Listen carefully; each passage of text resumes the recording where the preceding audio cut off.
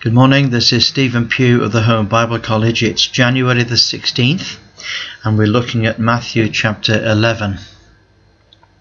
In the first part of this chapter, John sends um, two of his disciples to um, to Christ to ascertain whether he is actually really the Messiah or not.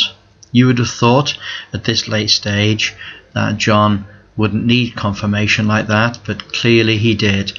And this is because um, Christ's ministry had now stepped up a gear. He had sent out the 12 disciples, which he named apostles, and they had gone forth to preach and teach in all of the cities of Israel, and Christ himself had departed from there to preach in some of the cities of Israel. Now, John had been put in prison. So John's ministry is coming to an end, and John needs to have confirmation from Christ that his ministry had been successful in the sense that he had pointed Christ to the people and introduced Christ as the Messiah of Israel. so when the people came, when the disciples of John came and said, um, John wants to know whether you really are the Messiah or not, he says, Go and tell John the things that you have seen and hear. And at that time, he says, The blind receive their sight, the lame walk, the lepers are cleansed, the deaf hear, and the dead are raised up, and the poor have the gospel preached to them. Now, these five messianic signs which accompany the preaching of the gospel are, are signs that only the Messiah would be able to uh, perform. So, for example, we don't just talk about people who are blind, we talk about those that are born blind. Those that are born blind. Even the scribes and the Pharisees acknowledged that only the Messiah would be able to heal people that had been born blind. It's quite something to heal somebody who had been going blind. But these are people who had never seen, no light had ever fallen upon their eyes. And then he also talks about the lame walk, and in this particular case, it means those lame that had never walked. It's not about a recovery, this is about a totally new type of living altogether, and the lepers are cleansed.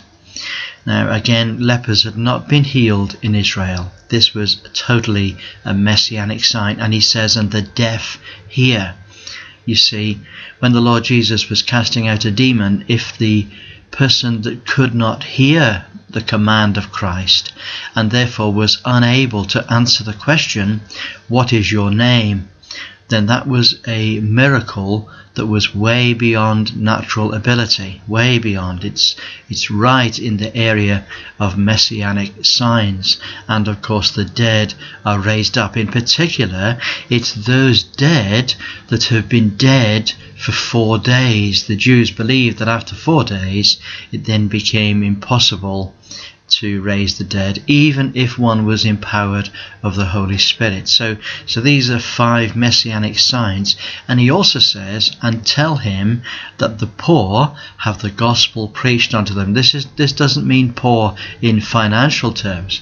It means that those that are poor in spirit have the gospel preached unto them. So this is right back in the Beatitudes again. And he says, And blessed is he whosoever shall not be offended in me. So this is a personal message to John. He's saying, John, you are under the blessing of God if you are not offended by me. So, as they depart, Jesus began to talk to the multitudes about John. And he says, What did you go out into the wilderness to see? A reed shaken by the wind? Oh, what a wonderful analogy. Some people think that this is a joke of the Lord Jesus, and we can understand how the crowd must have smiled or even laughed.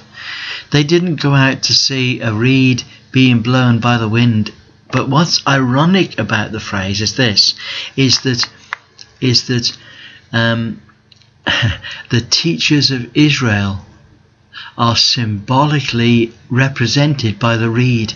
They are the scribes, they're the ones that write, and they use a reed to write. He said, You didn't go out to see a reed shaken by the wind.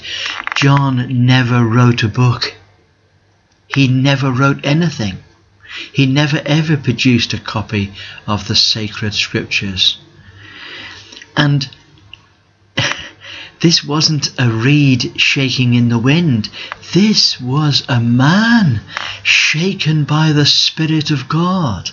He was shaken by the pneumatos, the wind of the Spirit of God. Lovely play on words there of the Lord Jesus. He said, You didn't go out to see a reed shaken by the wind. So what did you go out to see? Did you go out to see a, a person clothed in beautiful clothes, in soft raiment? No. if you want to see people in soft raiment, you have to go to the king's palace. So, what did you go out to see? A prophet? Well, I'm going to tell you, you went to see more than just a prophet. Okay? You didn't go to see just a prophet. It's written about John Behold, I send my messenger before my face, which shall prepare thy way before thee. John was the one who came to prepare the way for Christ's ministry. He was the one who came to introduce Christ to his ministry.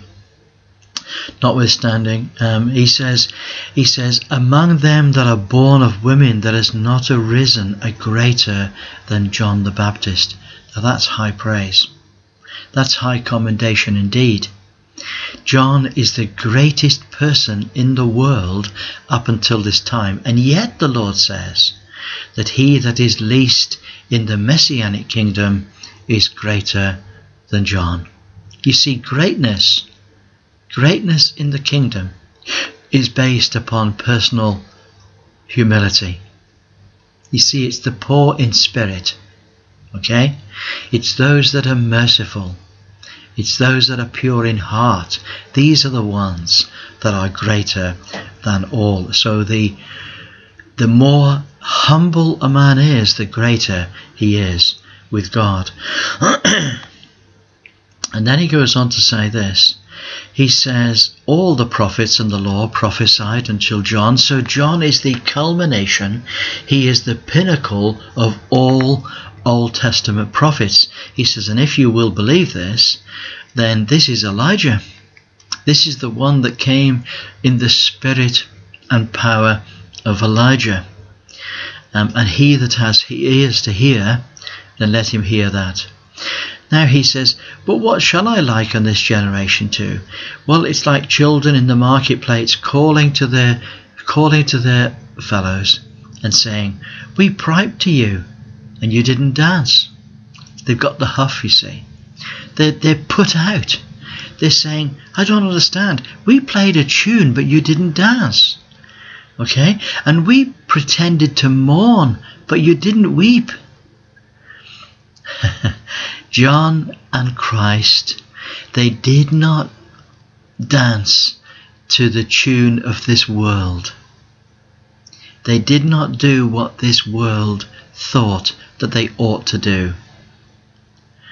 Uh, John didn't come drinking, drinking, and yet they said he had a devil uh, the Son of Man came eating and drinking, and they said of him that he was gluttonous and a winebibber. He was. They said about Christ that he was a man who ate too much, and that he was a man that drank too much.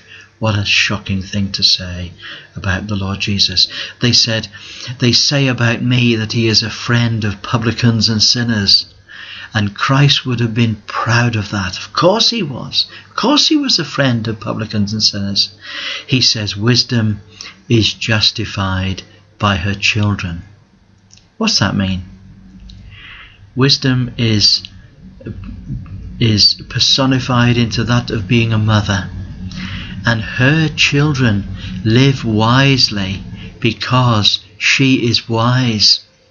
And the disciples live holy because Christ is holy. The disciples are able to understand the message of God. Why? Because Christ has taught them properly.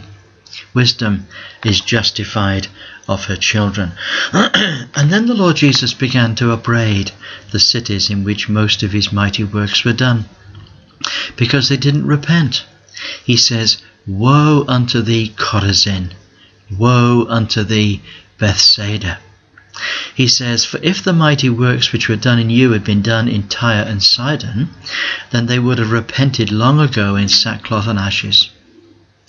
And I say unto you, it shall be more tolerable for Tyre and Sidon in the day of judgment than for you. And thou, Capernaum, this was Christ's centre of operations in the north. He says, Thou, Capernaum, which art exalted unto heaven, shall be brought down to hell. For if the mighty works that have been done in thee had been done in Sodom, they would have remained until this day. But I say unto you, it shall be more tolerable for the land of Sodom in the judgment than for thee. Now all the nations of the world and the cities of the world needs to take note of this. They need to take note that in the covenants God holds cities and he holds civilizations, he holds nations responsible to him. And if they have great privileges, like the United Kingdom or the United States of America, if they have great privileges, then God will hold them to great responsibility. And in the judgment, these nations will be dealt with more stringently. Why?